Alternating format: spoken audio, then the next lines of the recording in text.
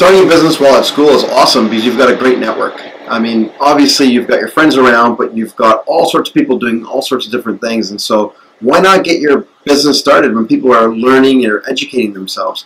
I mean, you learn as you go. Um, you're learning in school, but you've got the network that you can really plug into to kind of bounce ideas off of them, or maybe they become your potential clients. So uh, starting your business as soon as you can is a great idea. And you know what? You'll learn. You'll make mistakes, and then you know what? You can correct them, fix them, and, and keep moving on. And the pressure's not there because you're still in school, so you're still studying. It's not like you're done school and then you're starting business where you feel way over pressured to perform and make sure that you've got everything perfect the first time. Trial and error. It works. No, not at all. I think the most important thing is you've got to be able to learn how to manage your time. And as long as you can manage your time, I think do it all at the same time. I mean, there's there's no there was never pressure on me to want to finish first. Uh, I found ways to make it happen. Now, did I get 100% on every exam or test I wrote? Probably not. Uh, could I have given it a little bit more time and maybe got that extra 2%? Possibly. But at the end of the day, I was putting my uh, my energy and my resources where I felt I'd get the biggest bang. Listen, students have energy, lots of energy, and that's what you need for business. And so that that energy vibe, that vibe of wanting to do things and learn and explore is is what makes it really happen. A challenge every entrepreneur faces no matter who you are. You never have money. I mean, you want to go out and you want to be, you know, partying and drinking or doing whatever you want to do on weekends when you're a student. But at the same time, um, you know, you need money for your business, and and you kind of need money to make money. And so, how do you do that? Well, you make a couple bucks, you've got to turn those couple bucks into more bucks, and so that's always a challenge: is being able to fund your business. And if you've got, if you're smart and wise with your money, um, and you really work hard at it, uh, you can get through it. There are ways to get through it, but that's definitely the challenge. When you're a student, people think you're a student. That's all you are, and you know you don't know anything because you're a student. You're still learning, so people write you off. But you know what? Your action and your determination will overcome that on its own. Never. Um, a couple of reasons. One, my parents would probably kill me. Um, and the second thing is because you know school is a journey. You start from preschool or junior kindergarten and you go all the way through. So not to be able to finish is just something I, I don't like to leave things open. So for me personally, I wanted to make sure I accomplish and finish uh, what I started.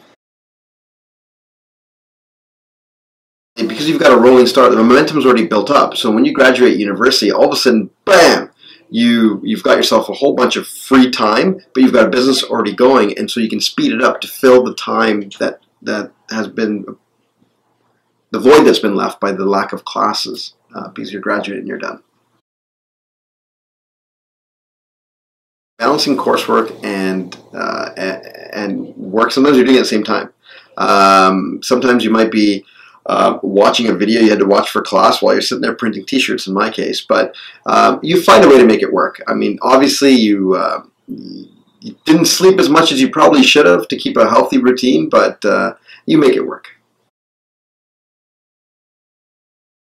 If you can get people working with you um, on your products or your services you're offering, then when they go into their careers, you'd hope that they'd call you um, and, and continue using you throughout.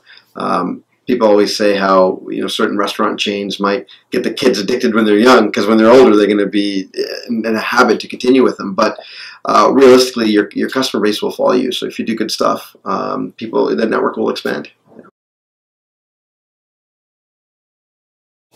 To be successful at both school um, and work is about doing things that you like. Um, if you are starting a business that you're really passionate about, um, and if you're taking classes, courses, and things that you really want to learn about, that passion and that energy that you have for it, doing things you like, playing to your strengths, so to speak, is what's going to make you successful. Doing things you don't want to do um, and you don't have a passion for, but you're forcing it because you feel it's the right thing to do, it, it can work, but at the same time, it could be a demotivator on both sides, whether it's for the business or for school itself. Don't be afraid. There is nothing wrong. You're going to make mistakes and you're probably not going to be perfect off the gate. the key for me has been not striving for perfection. Um, it's been striving to get things, hitting milestones and moving on. Um, so uh, don't stress about it. Sounds a lot easier, but um, until you start doing things, you get your feet wet, you're going to make mistakes. Just realize that mistakes are just part of that growing process. Um, and I'm sure you'll do it in schoolwork as well, and you do it in your business as well. So uh, don't be afraid.